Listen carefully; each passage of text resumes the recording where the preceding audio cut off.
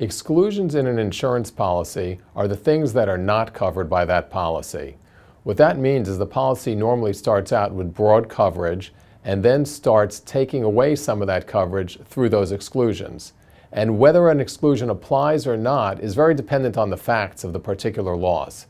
In fact, sometimes some of those exclusions even have exceptions which give coverage back.